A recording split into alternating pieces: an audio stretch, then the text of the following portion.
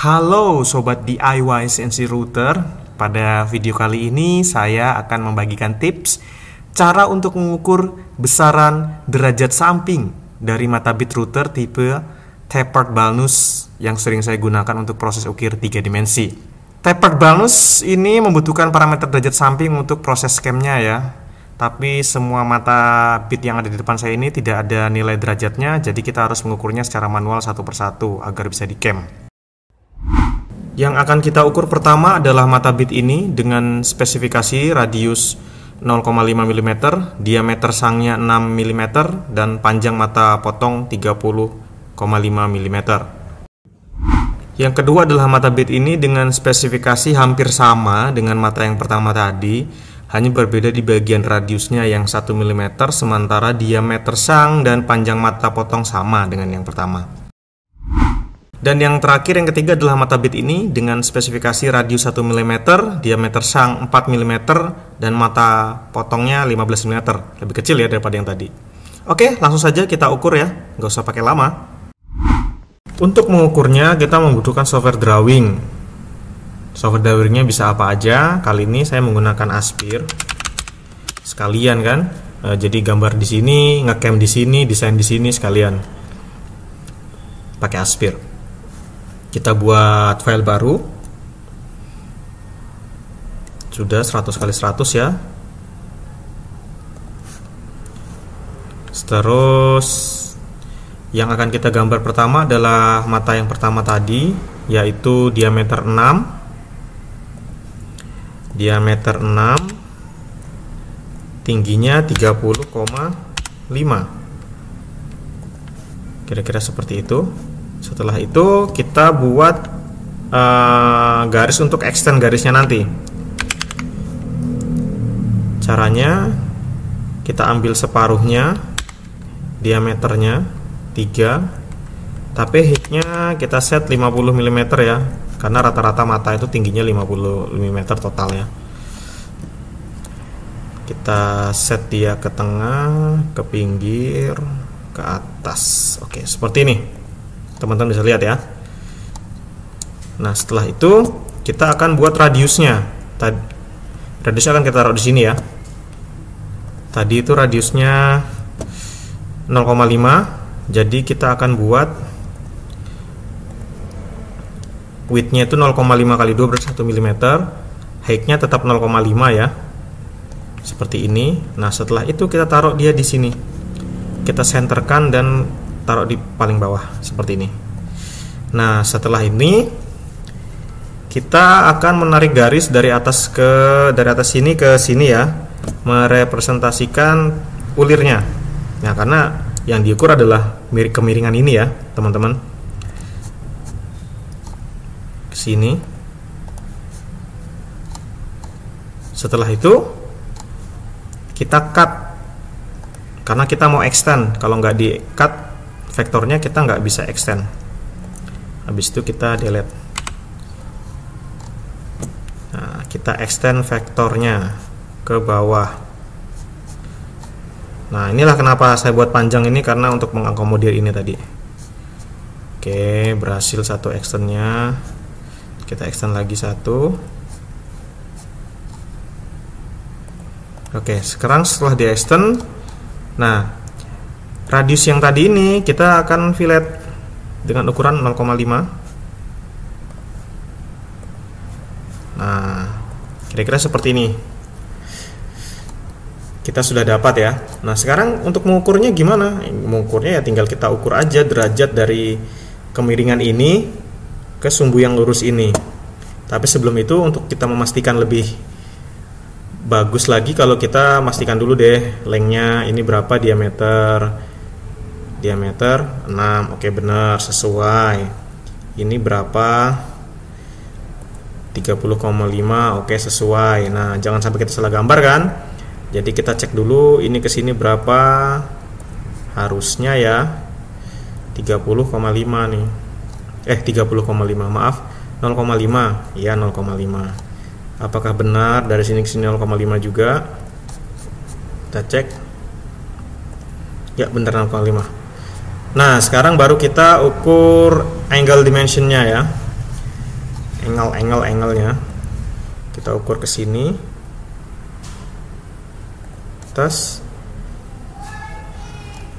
oh maaf saya salah ya. Dari bawah. Dari bawah ke atas. Seperti ini. Nah muncul angle-nya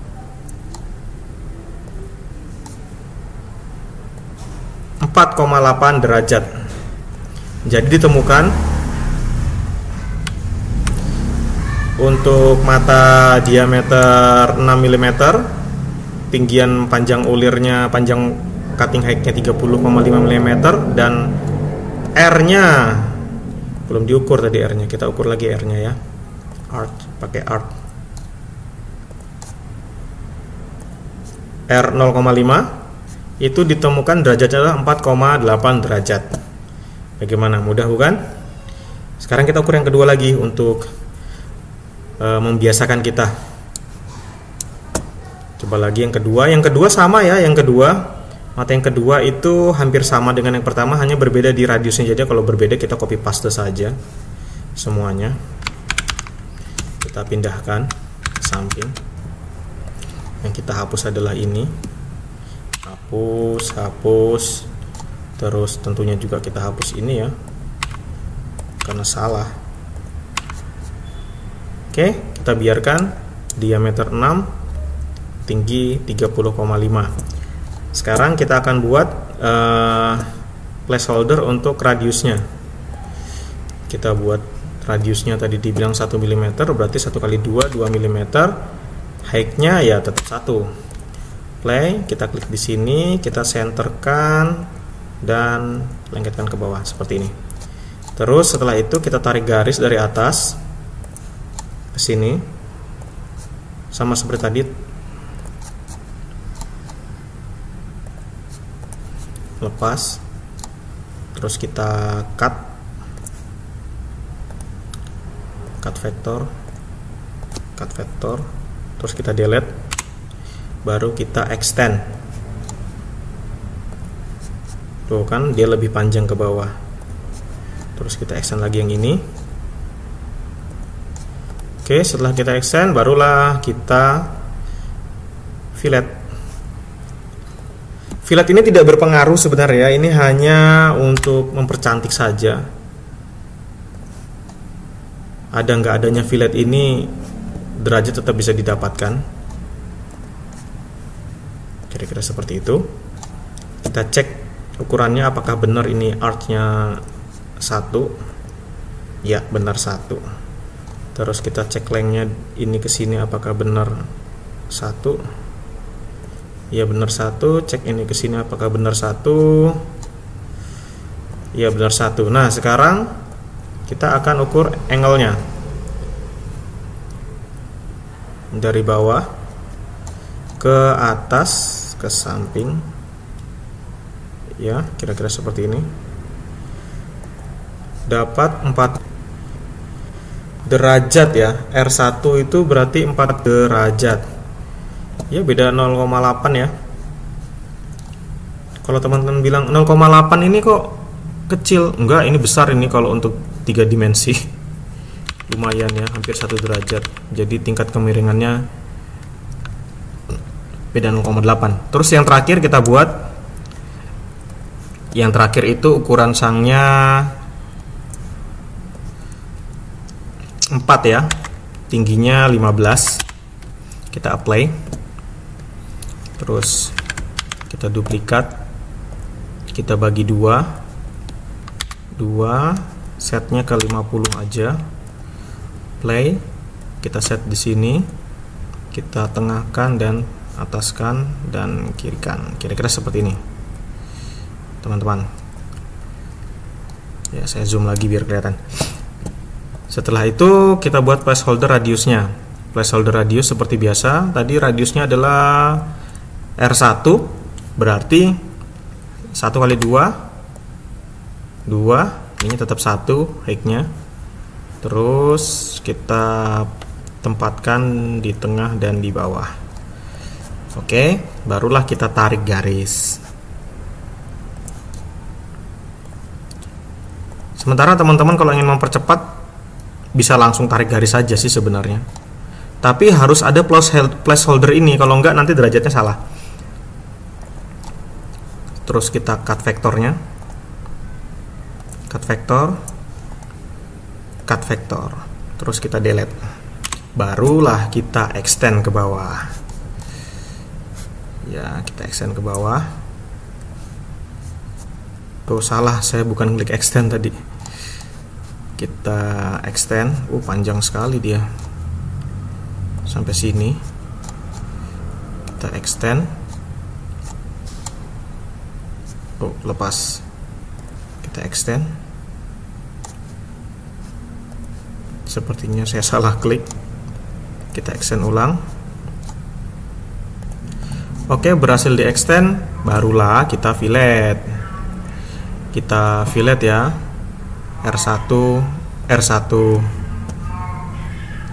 wah terdengar suara kucing-kucing di luar. Terus kita cek ukurannya ulang. Apakah benar 4? Ya, benar 4. Apakah benar 15? Ya, benar 15. Apakah benar ini 1? Ya, benar 1 apakah benar ini juga satu? Satu. Barulah kita ukur radiusnya. R1 juga. Baru terakhir kita ukur angle-nya. Teman-teman ukur angle-nya pertama juga nggak masalah. Ini hanya untuk tutorial saja jadi teman-teman tahu basicnya 4,1 derajat oke kira-kira seperti itu ya jadi dari tiga mata tadi itu mempunyai derajat yang berbeda-beda ya. Yang pertama dengan diameter 6, tinggi 30,5 dan R 0,5 didapatkan hasil derajat 4,8 derajat. Yang kedua dengan diameter dan cutting height yang sama, panjang ulir yang sama tapi menggunakan radius yang berbeda, akhirnya derajatnya pun berbeda 4 derajat. Dan yang ketiga ini ukurannya jelas berbeda ya, diameternya 4 tinggi 15, R1 didapatkan 4,1 derajat. Kira-kira seperti itu. Nah, di mana sih penempatan derajat ini dalam camnya? Nah, kita coba isi toolpadnya ya. Satu, eh, bukan toolpad, uh, tool database-nya. Kita tambahkan satu. Kita tambahkan yang 4 derajat misalkan. Eh, 4 derajat kita tambahkan 4 mm. Kita buat baru. Tipenya tapered balnus kita pilih. Tapered balnus diameternya 4 derajatnya tadi berapa? Kita dapat 4,1 4,1 udah bener. Radiusnya 0,5 radiusnya 1 number footnya 2 create setting. Oke. Untuk pas depth di sini satuan pas depth kita coba sedalam mungkin ya karena saya biasa kalau misalkan 3D itu langsung full depth kalau di kayu ya jadi nggak perlu roofing roofing langsung full depth coba kita kasih segini kita apply dulu pas depth is 33 mm is greater than tool maximum cutting depth maksimumnya 14,5 nah 14,9 nah sekarang bisa terlihat kan uh, bagaimana berpengaruhnya derajat terhadap diameter ini. Jadi pas depthnya langsung terkalkulasi otomatis 14,9 di mana tool tadi ini dia cutting height-nya itu 15 jadi mendekati ya kita tulisnya 14,9 step overnya nggak usah ngaruh. Kira-kira seperti itu. Clearance oh clearance nya belum diisi. Kita kasih 50% kita apply. Oke kita dapat tools baru tapered balance dengan diameter 4 set angle-nya 4,1 set angle di sini.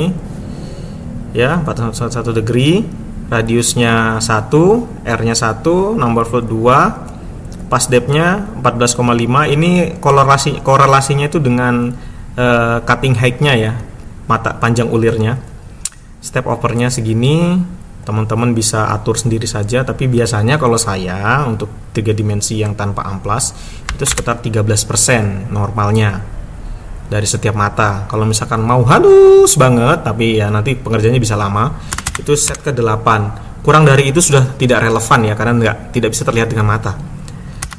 Jadi set 13. Oke, kira-kira seperti itu. Sementara untuk spindle dan ciplot fitret ini tergantung dari bahannya, tapi rata-rata kalau kayu settingan saya seperti ini. Kira-kira seperti itu kita apply oke oke demikian tutorial tutorial oke demikian tips dari saya mengenai cara mengukur derajat tapered balnus semoga bisa membantu teman-teman yang mungkin kebingungan gak ada derajatnya ketika beli mata bitnya. Terima kasih sudah menonton. Salam DIY CNC router.